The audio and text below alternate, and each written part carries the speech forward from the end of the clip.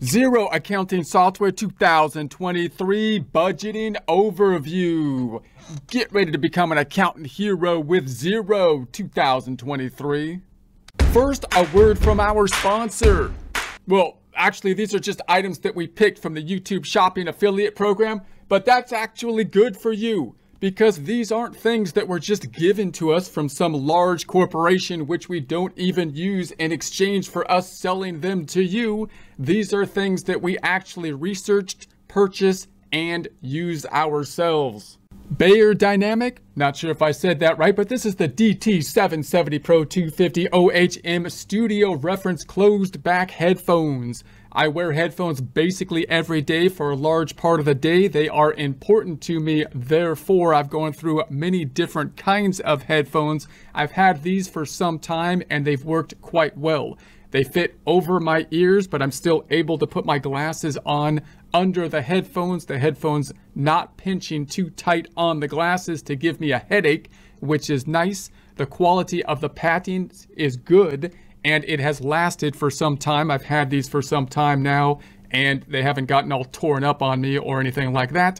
I also like that I have a cord when I'm doing my recordings as opposed to a USB centered headphone because that frees up a USB port and I find the USB headphones to be less reliable. They come with an audio jack that looks like this, which is useful for me because that plugs into my audio interface. However, if you want to use the headphones for some other purpose, I believe it's fairly easy to get a converter to other types of audio jacks. If you would like a commercial-free experience, consider subscribing to our website at accountinginstruction.com or accountinginstruction.thinkific.com, where we have many different courses. You can purchase one at a time or have a subscription model giving you access to all the courses. Courses which are well organized, have other resources like Excel files and PDF files to download, and no commercials. Here we are in our custom Xero homepage, opening the company file we set up in a prior presentation, Get Great Guitars. We will duplicate some tabs to put the major financial statement reports in, that being the balance sheet and the income statement. Right click in the tab up top so we can duplicate it. Right click in the tab up top again so we can duplicate it again back to the tab to the middle, accounting drop down, opening up a balance sheet, this being a comparative one, but if you don't have it, you can open the normal balance sheet. Tabbing to the right, accounting drop down, an income statement, this being a comparative one, but if you don't have it, you can open the standard income statement. We currently have two months of data input in the system and are now thinking about the budgeting process first focused in on the differences between the budgeting process and the day-to-day data input that we put into the accounting system during the normal accounting cycle.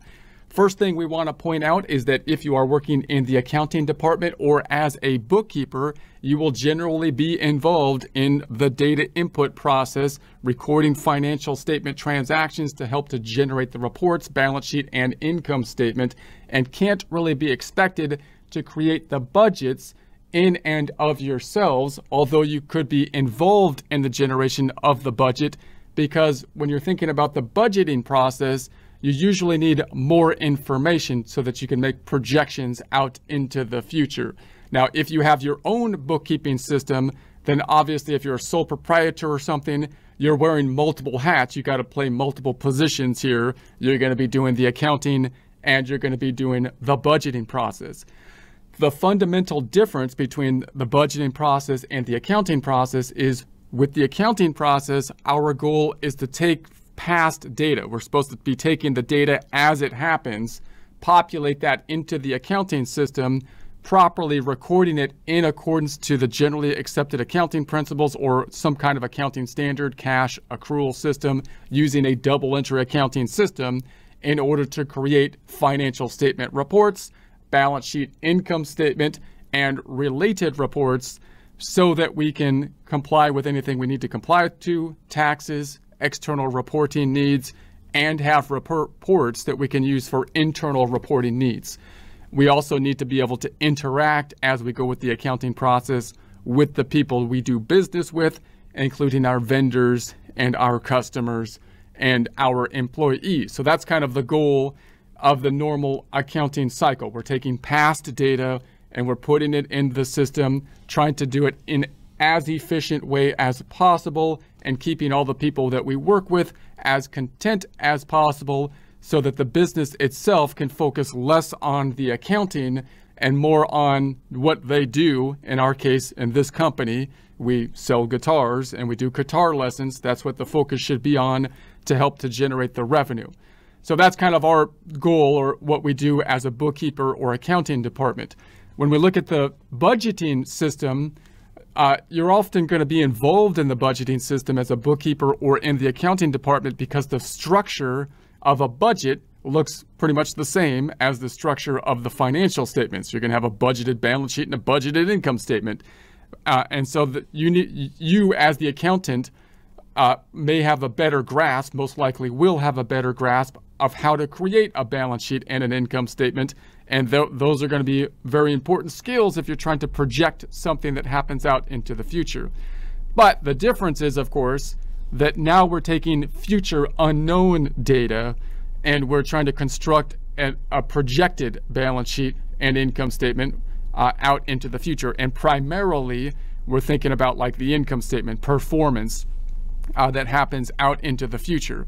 Now, we can't just do that based on past data. So if you work in the accounting department, then you might not have all the information necessary to make accurate projections into the future because management might be doing other things like changing their advertising strategy or you know increasing the price of products or that kind of stuff or if you work as a bookkeeper same thing your client uh, is going to be needing to tell you things if you if they want you to have an accurate budget. You would have to work with management on the sales side and the decision making side outside of you know just past data in order to make accurate projections out into the future. So that's why if you work in the accountant department or as a bookkeeper, you could, if they give you nothing else, we could take the past data and, and say, well, based on past data alone, I could make projections out into the future. I can extrapolate that out into the future in some way, shape, or form, and we have at least some summary budget. That's often the starting line of the budget, but then you would need to add on top of that what you think is going to change in the future years. And those things that are going to change possibly could be what's the economy look like in the future? Are we going into recession? Uh, do we have a crazy person running the country or something like that? or like, like is that gonna is that gonna impact? Is it gonna impact our business or anything? And and um, we also could have you know inflation. If there's inflation, has, is inflation going wild gonna uh, impact us or anything like that?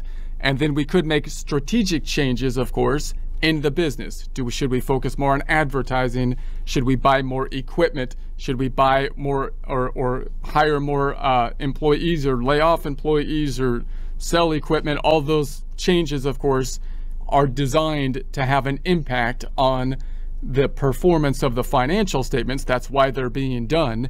And they're going to take the past data. We'll think about those changes that we think hopefully can improve and make projections based on all these different factors out uh, into the future. Now, when we think about that from an accounting standpoint, then it's like, well, how do I construct the budget? How am I going to do that? Well, note from just the simplest way to start with the budget is to usually think about the income statement. We have two reports. We've got the balance sheet. We've got the income statement. Remember that the balance sheet represents where we stand as of a point in time. So this is where, where we are as of now.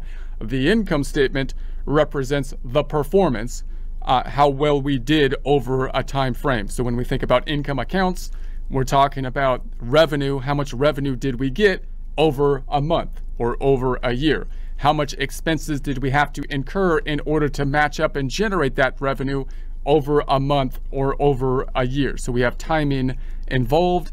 When we're projecting out into the future, that's basically the form that first comes to mind because it, it would be kind of like if you're if you're trying to see how many miles you can run or, or how many miles your car can go in a day what you're going to do is you're going to drive the car for the day and then see how many miles it went and restart the odometer and then do it the next day and see if you can make changes to improve your record or something like that. That's basically what the income statement is doing. This is what we did last year. Let's see if we can res reset the odometer make projections, try to set a target goal, and then see how far we can go in uh, the next year on the income statement. Now, if we got more complex with that, we would also then go back to the balance sheet and say, okay, well, if I did that, where would I stand at the end of that, right? We can think, okay, if, if my income statement performance uh, performed the way I should, we can then say, where, where would the balance sheet be after that point in time, right? A year later, where would we stand as of a point in time a year after this or month by month after this?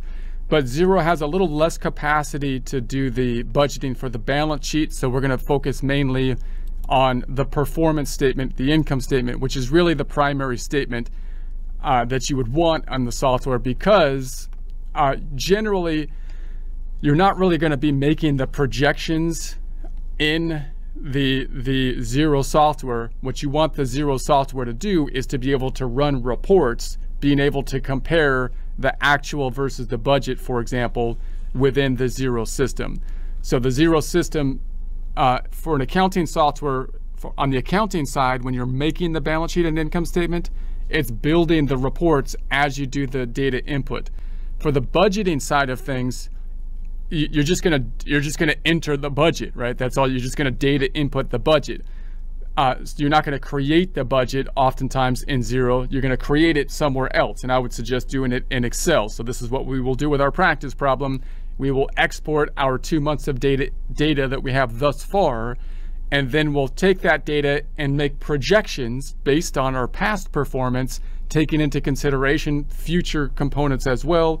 Come up with an income statement in Excel by month, for example, and then we'll take that income statement from Excel and put it back into Xero. And why would we do that when we already have it in Excel? Because Xero can then do what it does well, which is make comparative reports where we can compare current performance to uh, the budget as time passes. And then we can use those reports to run, you know, to run comparisons. So that's the primary strategy we will have. If I go to the first tab over here and we go to the accounting dropdown and we look at the reports, then the budgeting information is uh, down here and the uh, budget manager. So if we go into the budget manager, you can see basically it's just a data input to enter the budget. And once we have the budget entered into the system, then we can we can use that to run reports. So again, the strategy is not to make the budget generally in Xero. The strategy is to use Xero's past data, export it to Excel generally, and then using Excel so that you can have a lot of flexibility to make projections out into the future, make your projections, then put the budget back into Xero so that we can run reports and, and see, for example, what actually happens as time passes compared to what we budgeted to happen. And that's how we can kind of benchmark ourselves and hopefully uh, improve our performance in the future. So that's what we'll start doing next time.